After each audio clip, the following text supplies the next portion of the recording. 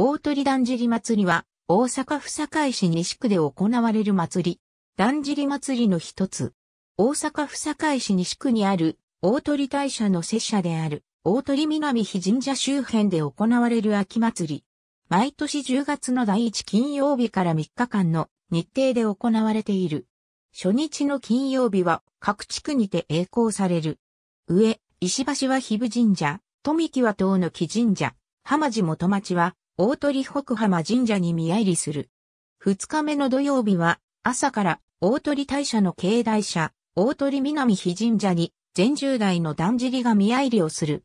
昼の部はここからファイン全交差点で次々と槍回しを披露する大鳥連合パレードを実施。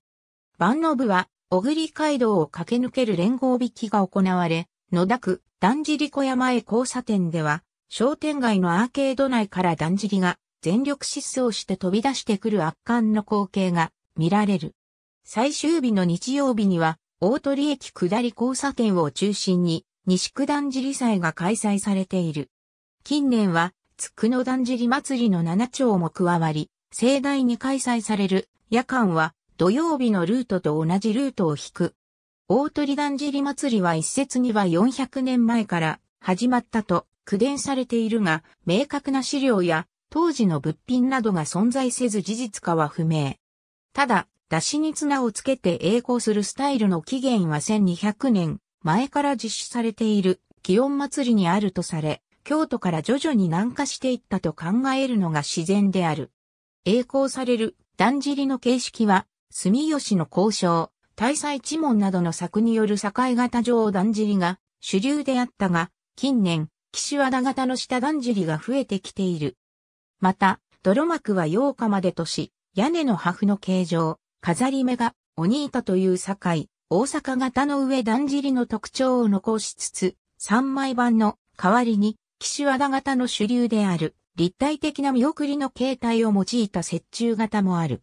現在、大鳥だんじり祭で引き出されるだんじりには、三枚版をしつらえたものはない。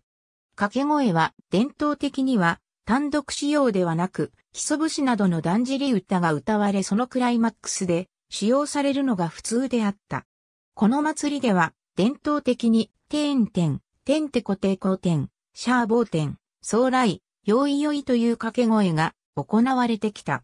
これは冗談尻にあったものである。この祭りでは伝統的に槍回しを行っていなかったので、使用場面は平時の徒歩速度から疾走速度に移行する際の区切りの意味が主である。その際は太鼓や笛もリズムを変える。この後、疾走時は、おいさ、おいさという2ビートのリズムの掛け声になる。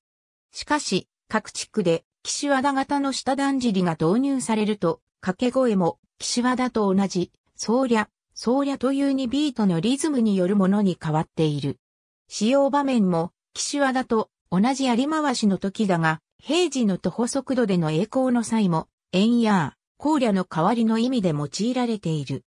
現在、伝統的な掛け声を行っている地区は、上段尻を保有する新在家のみであるが、大鳥、野田、北王子、野台、長生寺も見入り時には、大鳥大社境内では、伝統的な掛け声、林を行う。また、明るい理栄光寺にも、特に詰め合いの際突発的に行うこともある。現在多くの地区では、直進度が主な連合引きの際、掛け声の代わりにホイッスルを鳴らしたり、ハンドマイクで失踪速度への移行を知らせるなどしている。ありがとうございます。